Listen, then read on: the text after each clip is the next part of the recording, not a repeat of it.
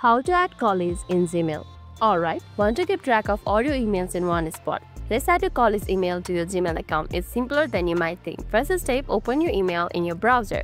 Then find the setting. You can see it right over here on top right corner. Tap on it. That will open a small space for you where you can see an option for see all settings. Tap on it and that will open to the settings. Now simply tap on accounts and import tab which is right over here. Tap on it now scroll down until you see an option for add another email. It's over here. Tap on it and that will open up you and window which asks you to add another email address on your own. Now simply add your college email address right over here.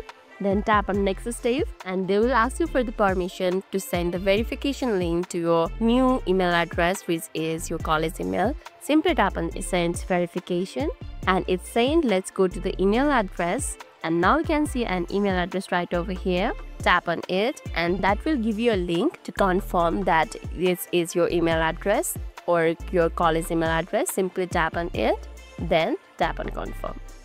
And that's it. You should now be receiving your college emails directly in your gmail box. Pretty handy right? That's all for today's video. And if this video made your day a little bit easier don't forget to like and subscribe for more amazing tips. Thanks for watching and see you in the next video